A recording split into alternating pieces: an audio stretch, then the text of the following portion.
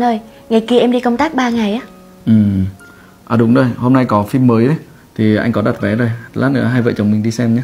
Cái phim gì tình cảm mới ra mà cũng hot lắm đúng không? Đúng rồi. À, bây giờ em chuẩn bị đồ đi. Anh đi thay đồ nhé. Ừ. Ủa, em chuẩn bị đồ xong chưa? Ờ, à, chết, em quên mất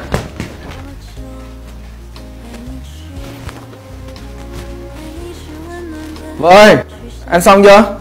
Em xong rồi nè, còn đánh sau nữa thôi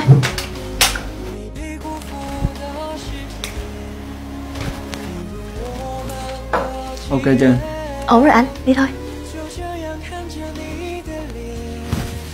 Ờ, chết rồi, em quên tắt tivi rồi Anh tắt cho em rồi. Ờ, Nhưng mà hình như còn cái Cái đó anh cũng rút điện và cất cho em luôn rồi. à, May quá Nhưng mà em Xong rồi em đây. Em cứ nhờ nhờ quên quên như thế này á thì làm sao anh có thể để em một mình được? Anh đã lùi hết tất cả công việc để đặt vé đi Hà Nội cùng với em rồi.